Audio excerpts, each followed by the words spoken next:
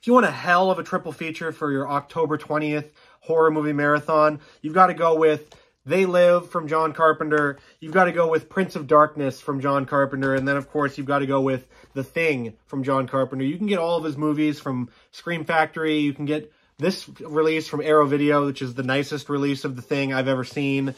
Comes in this nice box. Comes with a poster. Comes with a huge booklet about the movie. And then, of course, the stunning, stunning transfer that Arrow Video did of the thing with some lobby cards as well.